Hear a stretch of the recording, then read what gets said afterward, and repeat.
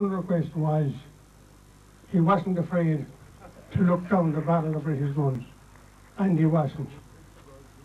Um, she reared one little boy, Maud Gonne did, and to prove that she reared them well, my dear people, I'll now hand you over to Sean MacBride, SC.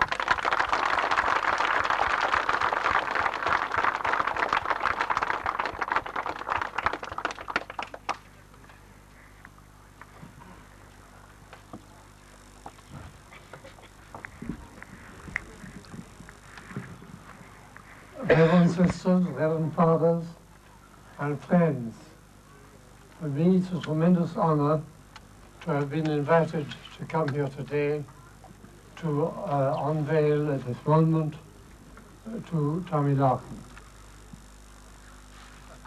The struggle for the independence of this nation has set the model of the people for long, many, on many occasions and sometimes for a long time. The famine reduced our population by half. At least two millions died then. And it speaks well for the people of that generation to know that a hundred years ago, when Tommy Larkin's remains were brought here, 20,000 people attended the funeral.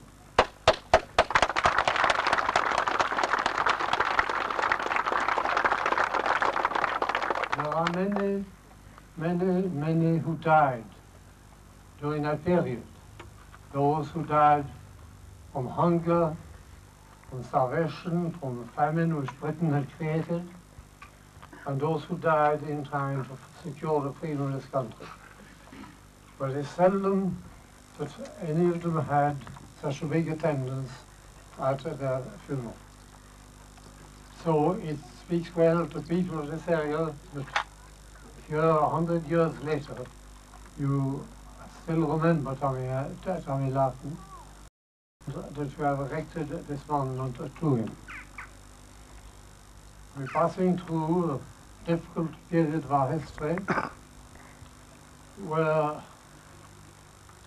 the great inroad made on the national ideal and also on the sense of moral responsibility the people.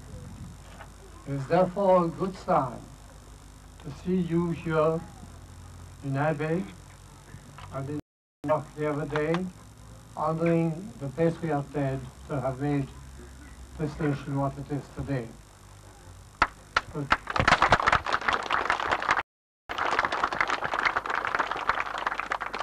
we still have a long way to go. True, we secured freedom for this part of the country. The Almighty made Ireland an island with no divisions, no boundaries between them. And we still have to achieve independence for the whole country. And this we can do. But we need, in order to do that, we need to have dedicated young people who are prepared to follow an ideal.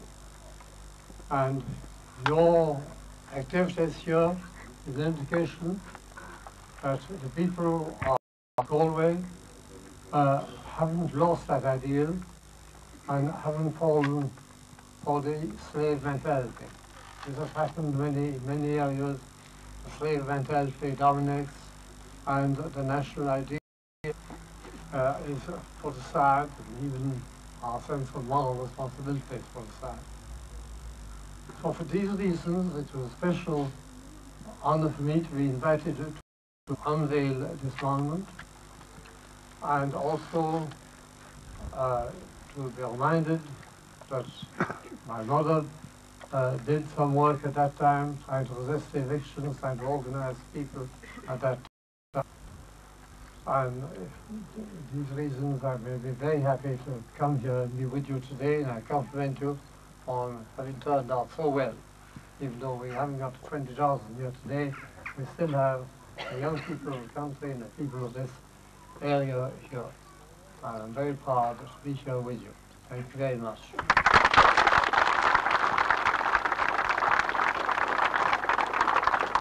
Thank you. I now call on John MacBride to unveil our monument.